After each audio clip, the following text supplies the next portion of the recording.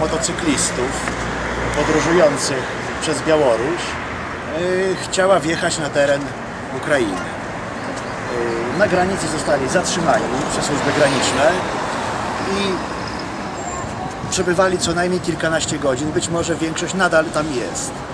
Strona ukraińska ich nie wpuściła, żądając wyjaśnień, no, po co tam jadą. Zaznaczam, że to legalny przejazd był zorganizowanej grupy 20-osobowej. Y, Ten incydent y, jednoznacznie potwierdza, że władze obecne w Kijowie, reżim banderowski jest wrogi wobec Polaków. O ile na Białorusi byli przyjęci w sposób właściwy i wszelkie sprawy formalne zostały dochowane, to jak mówię, st- strona ukraińska postąpiła wobec polskich motocyklistów, uważam, nieuczciwie. To potwierdza moją tezę, że obecny reżim kijowski, banderowski jest wrogi wobec Polski. Ten incydent każe wyciągnąć jak najdalej idące wnioski. Uważam, że mianowanie określonej osoby na konsula do Lublina, ten incydent graniczny, potwierdza to, co mówię od dawna. Ta ekipa kijowska, banderowska nigdy nie będzie przychylna wobec Polski. Myślę, że czas wyciągnąć jak najdalej idące wnioski, póki nie jest za późno.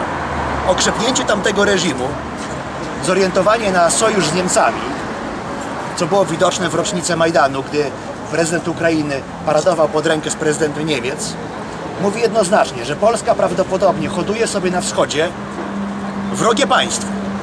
Jeżeli będziemy nadal milczeć, jeżeli linia polityczna obecnego prezydenta, Platformy Obywatelskiej, ale i jego kontrkandydata, pana Dudy i Prawa i Sprawiedliwości będzie dalej probanderowska, to być może w ciągu paru lat będziemy osaczeni przez wrogów ze wszystkich stron.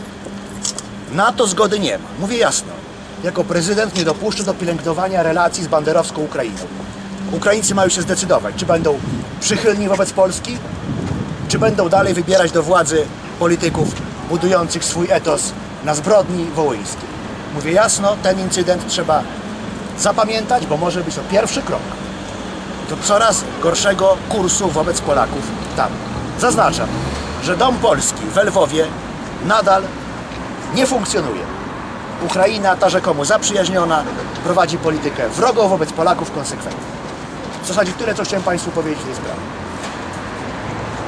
Ponadto, już trochę w innej sprawie, chciałem podziękować za zaangażowanie Państwa w relacjonowanie mojej kampanii wyborczej, na ile oczywiście Wam wolno było, bo rozumiem w jakiej jesteście wszyscy sytuacji.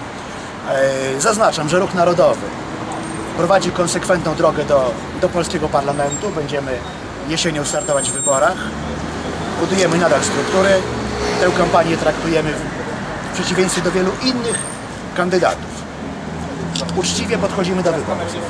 Jest to kolejny krok, a nie lancerka jednorazowego e, wybryku osoby z dobrym nazwiskiem. Także ci, co głosują dzisiaj na mnie, jutro, czy tam pojutrze na mnie, mogą na mnie głosować, na moich ludzi, na Ruch Narodowy w całej Polsce do, do Sejmu jesienią. Także bardzo proszę o wspieranie nas cały czas, bo budujemy nową jakość polityczną. I podkreślam, ten wybryk ukraińskiej, ukraińskiej strony potwierdza, że to nie są nasi przyjaciele i musimy reagować natychmiast. Dziękuję.